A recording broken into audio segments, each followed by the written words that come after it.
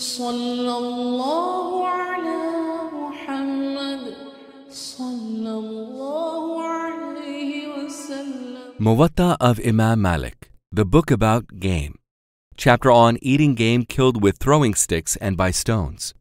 Yahya related to me from Malik from Nafi, who said, I was at Al Juruf near Medina and threw a stone at two birds and hit them. One of them died, and Abdullah ibn Umar threw it away and then went to slaughter the other one with an adze. It died before he could slaughter it, so Abdullah threw that one away as well.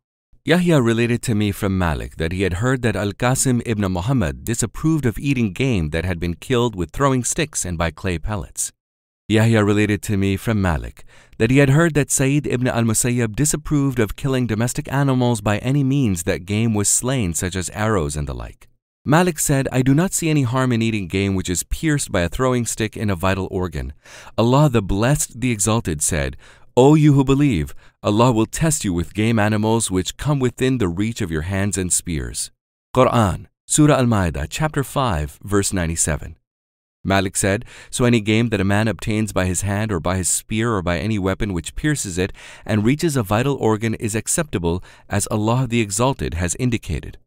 Yahya related to me from Malik that he had heard the people of knowledge say that when a man hit game and something else might have contributed to death, like water or an untrained dog, such game was not to be eaten unless it was beyond doubt that it was the arrow of the hunter that had killed it by piercing a vital organ, so that it did not have any life after that. Yahya said that he heard Malik say that there was no harm in eating game when you did not see it die if you found the mark of your dog on it or your arrow in it, as long as it had not remained overnight. If it had remained overnight, then it was disapproved of to eat it. Chapter on game caught by trained dogs. Yahya related to me from Malik, from Nafi, that Abdullah ibn Umar said about a trained dog, Eat whatever it catches for you, whether it kills it or not. Yahya related to me from Malik that he heard Nafi say that Abdullah ibn Umar said, whether it eats from it or not.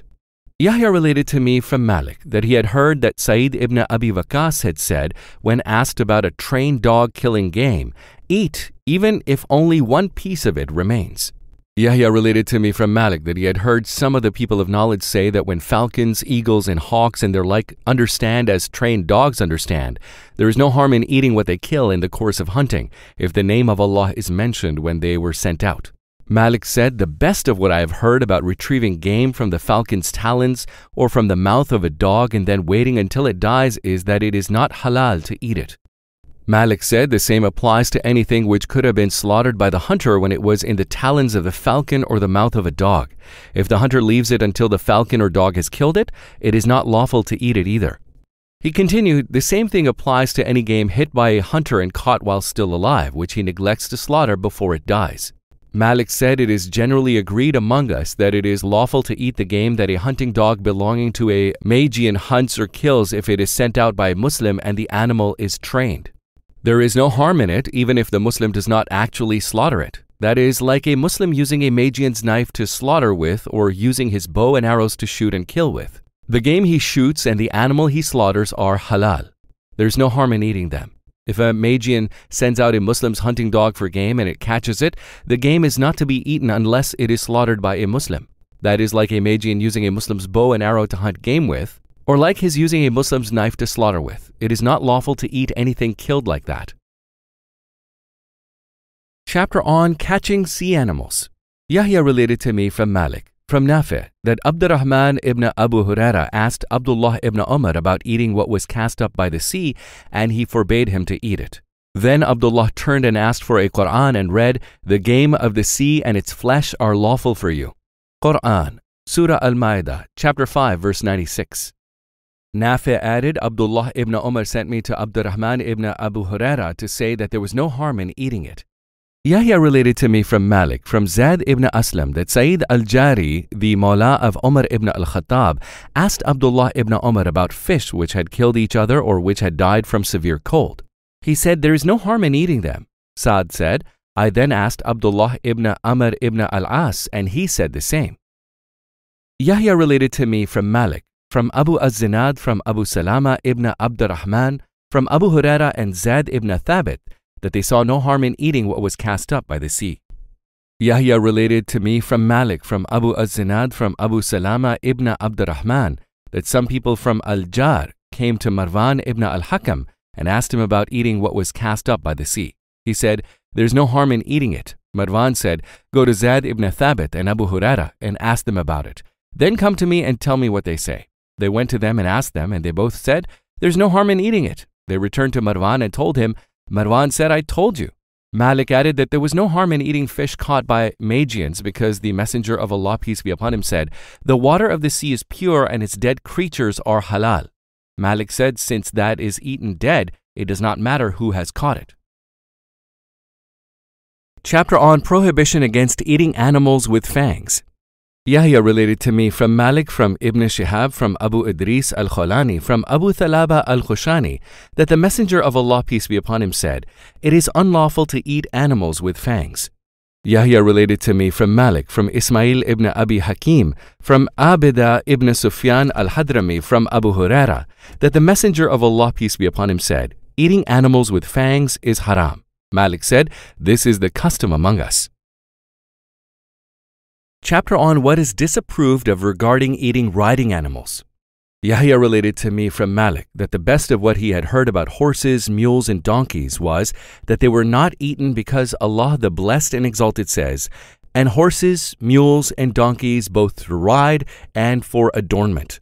Quran, Surah An-Nahl, chapter 16, verse 8. He also says, May he be blessed and exalted about livestock, some for you to ride and some to eat.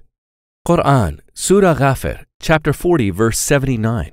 He also says, The blessed, the exalted, so that they may mention the name of Allah over the livestock He has given them. Eat of them and feed both those who ask and Al-Qani and those who are too shy to ask. Al-Motar.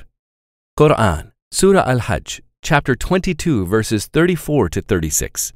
Malik commented, Allah mentions horses, mules, and donkeys for riding and adornment, and he mentions cattle for riding and eating. Malik said, Al-Qani also means the poor.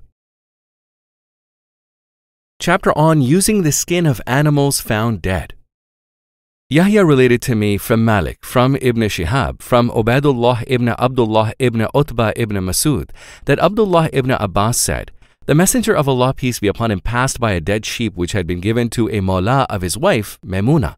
He asked, Are you not going to use its skin? They answered, Messenger of Allah, but it is carrion. The Messenger of Allah, peace be upon him, said, Only eating it is haram. Malik related to me from Zaid ibn Aslam, from Ibn Wa'la al Misri, from Abdullah ibn Abbas, that the Messenger of Allah, peace be upon him, said, A skin is pure when it has been tanned. Yahya related to me from Malik, from Yazid ibn Abdullah ibn Qusayt, from Muhammad ibn Abdurrahman ibn Thawban, from his mother that Aisha, the wife of the Prophet, peace be upon him, said that the Messenger of Allah, peace be upon him, ordered that the skins of carrion be used after they had been tanned. Chapter on eating carrion when forced to out of necessity. Yahya related to me from Malik that the best of what he had heard about a man who was forced by necessity to eat carrion was that he ate it until he was full and then took provision from it. If he found something which would enable him to dispense with it, he threw it away. Malik, when asked whether or not a man who had been forced by necessity to eat carrion should eat it when he also found the fruit, crops, or sheep of a people in that place, answered, If he thinks that the owners of the fruit, crops, or sheep will accept that it was a necessity so that he will not be deemed a thief and have his hand cut off, then I think he should eat from what he finds whatever will remove his hunger, but he should not carry any of it away. I prefer that he do that rather than eat carrion. If he fears that he will not be believed and will be deemed a thief for what he has taken, then I think that it is better for him to eat the carrion, and he has leeway to eat carrion in this respect. Even so, I fear that someone who is not forced by necessity to eat carrion might exceed the limits out of a desire to consume other people's property, crops, or fruit. Malik said, That is the best of what I have heard.